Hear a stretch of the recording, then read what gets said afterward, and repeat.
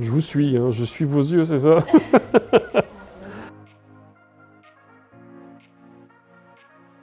Bon, Tout d'abord, je pense que la communication numérique est aujourd'hui obligatoire dans ce monde. Euh, deuxième point, c'est qu'on a eu une réflexion avec notre tête de réseau euh, et c'est un, dispositif qui a été mis à notre euh, disposition. Donc on a la tête de réseau communique et localement, le franchisé que je suis communique sur une ligne, avec une ligne plutôt. C'est assez simple, vous pouvez choisir votre campagne et la thématique que vous voulez mettre en avant en fonction des mots-clés que vous aviez prédéfinis.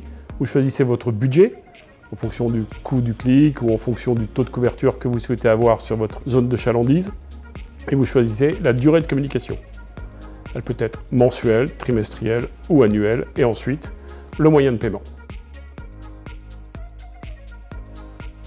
J'analyse les tableaux de bord mensuellement. ces tableaux de bord sont mis à disposition par la plateforme. Sur ces tableaux de bord, on peut remarquer les statistiques, les nombres de clients qui sont rentrés sur notre site, comment on a transformé ces clients, d'accord, avec les taux de conversion, le coût du clic, les coûts des budgets et le taux de couverture que vous avez avec cette campagne sur votre zone de chalandise.